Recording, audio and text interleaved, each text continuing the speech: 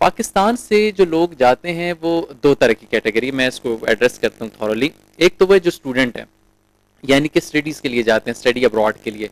या तो आप एफएससी को कंप्लीट करते हैं या ग्रेजुएशन को कंप्लीट करते हैं और आप मास्टर के लिए अप्लाई करते हैं किसी भी कंट्री में एक तो वो लोग हैं।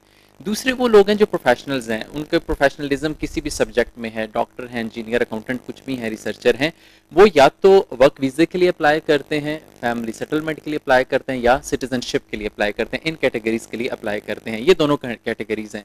हाँ. अब जब भी आप अप्लाई किसी भी कैटेगरी के लिए करेंगे यूरोपियन कंट्रीज़ में ऑस्ट्रेलिया यूनाइटेड किंगडम या कैनेडा में तो इन कंट्रीज़ की बेसिक जो रिक्वायरमेंट है आपकी क्वालिफिकेशन एज या एक्सपीरियंस के अलावा वो होती है लैंग्वेज रिक्वायरमेंट यानी कि इंटरनेशनल इंग्लिश लैंग्वेज प्रोफिशंसी अगर आपकी क्लियर है उसका टेस्ट पास है तो आपकी एलिजिबिलिटी मीट कर रहे हैं। अगर वो लैंग्वेज प्रोफेशन से क्लियर नहीं है तो आप किसी भी वीज़ा के लिए एलिजिबल नहीं है।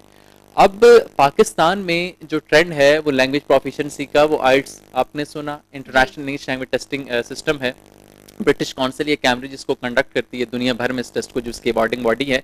इसके अलावा एक और ऑल्टरनेट ऑप्शन या टेस्ट है PTE Pearson test of English ये भी एक इंटरनेशनल इंग्लिश लैंग्वेज प्रोफिशंसी है टेस्ट है, और इसकी भी एक्सेप्टेंस ग्लोबली सेम है for the sake of study visa as well as immigration immigration के अंदर जो मैंने आपको थ्री डिफरेंट कैटेगरीज बताई हैं।